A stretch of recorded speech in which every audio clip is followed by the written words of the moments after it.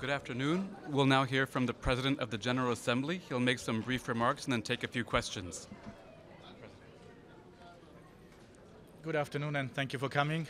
This is the first time I'm addressing you as a President of the 72nd General Assembly and I hope there will be many more meetings with you, to which I'm looking forward. You are familiar with my priorities. Let me very briefly mention that it's uh, peace, prevention, avoiding of conflicts, the migration and the preparation of the compact to regulate migration, is keeping momentum on sustainable development goals and climate change, the issue of human dignity, human rights, and it's the modern United Nations that includes also uh, the reform or reforms that are going on, and of course the adoption, timely adoption of a budget that will allow us to work. I've informed the delegates this afternoon about the three overarching priorities or principles that will guide my work. First, focus on people. That means keep in mind in every everything we do that we, what we do is meant to improve the life of people of this planet. Second, quality. Instead of pursuing high number of events, let's rather focus on the substance and on the outcome of every meeting we organize here. And the third, balance. There are many priorities and the, the list of these priorities would differ from region to region or from person to person and therefore I want to apply a balanced approach to all three pillars of the UN work and all the, uh, all the program that uh, we are going to tackle with. And of course I should also mention transparency. I will uh, respect the highest standards of ethics and transparency that have been introduced by my predecessors, of course, uh, fully and if possible going even further. So uh, we are at the beginning of our work. This 72nd session will be a session of uh, many firsts. We will negotiate the first intergovernmental compact on migration. We will negotiate uh, the first document that will be presented by the Secretary General uh, reporting about the implementation of the two important resolutions linked to the sustaining peace we will hold the first high-level event on peace and prevention. Uh, many member states will sign the first document on elimination of nuclear weapons and also the first document on eliminating sexual exploitation and abuse in peacekeeping. But at the same time, it will be a session of follow-ups. And as we say, sometimes the follow-up is more difficult than to, to launch something, but we need to stay the course. And follow-up means particularly continue the implementation of Sustainable Development Goals and implementation of our commitments stemming from the Paris Agreement on climate change. So I think these are the priorities as I see them in a nutshell, and now I stand ready to answer your questions. Yes, sir. Can we get, can we get over there? Yes, sir.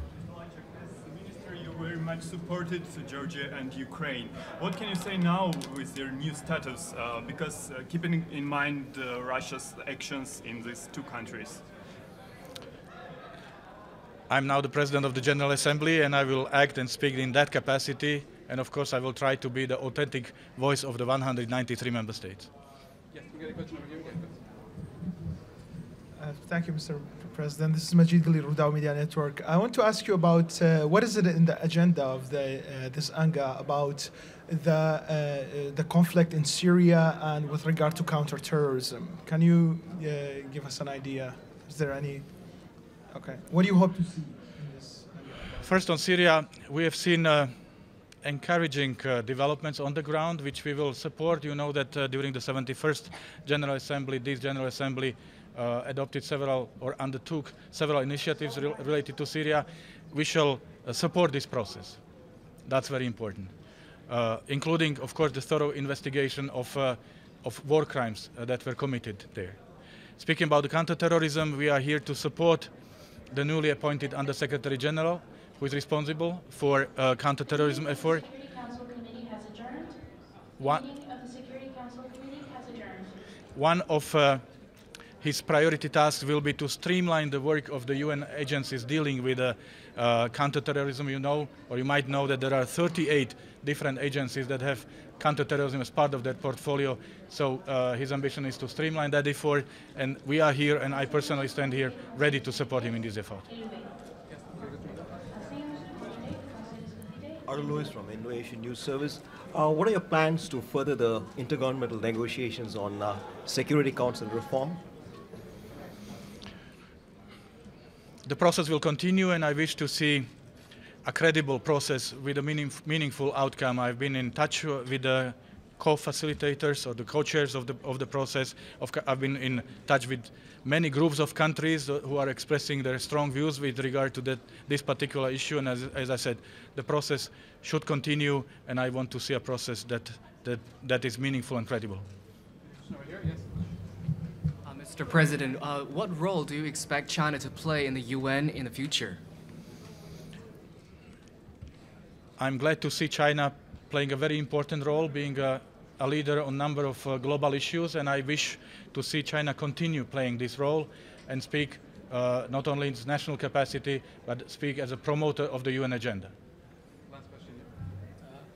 Hello, Davide Mamone from uh, La Voce New York. Um, about immigration, the United Nations have no a policy today. So, what do you expect in this sense? Um, you said that it's on agenda. So, uh, what do you what, what are your hopes in this sense?